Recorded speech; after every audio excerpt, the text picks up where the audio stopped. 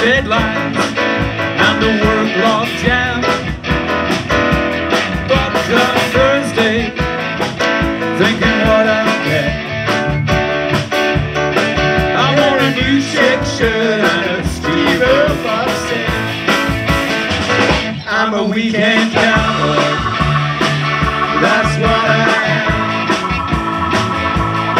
I got my buckle and my boots, cold